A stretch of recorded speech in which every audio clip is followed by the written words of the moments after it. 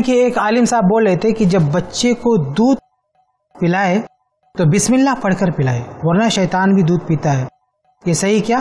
तो ऐसी कोई बात हमारे इल्म में नहीं है कि कोई माँ अगर बच्चे को दूध पिलाए तो वो बिस्मिल्लाह पढ़कर पिलाए, वरना शैतान पीता है।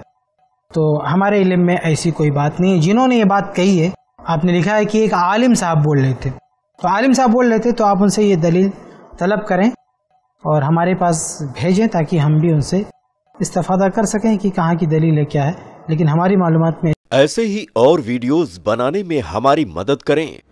आई प्लस टीवी को ज़रूर डोनेट करें।